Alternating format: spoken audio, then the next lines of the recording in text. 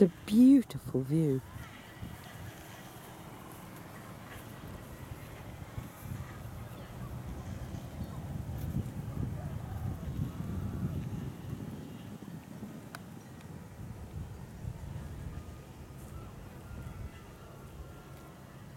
So I'm doing a little trip in a car today.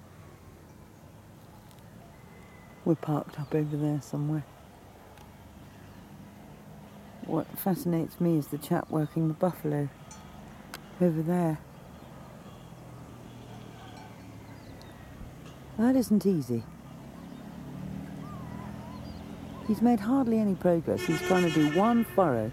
He's got to keep that thing upright and keep the buffalo moving.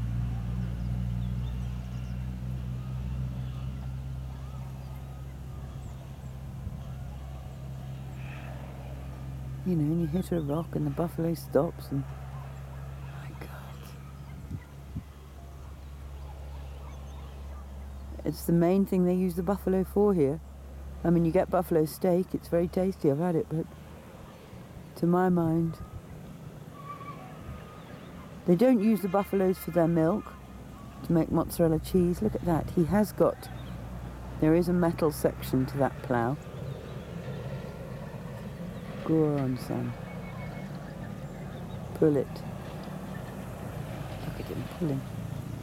Trying to pull. The buffalo is strong. Get it going. Go on. Go on. He's pulling.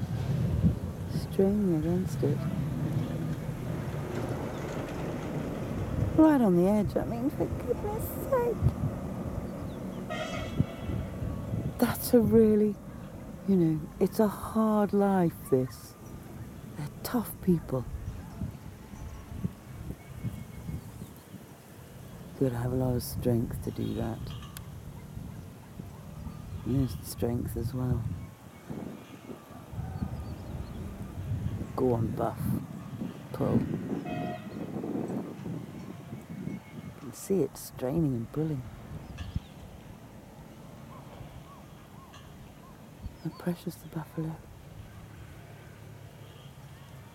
What a life. You've got plenty to cultivate there.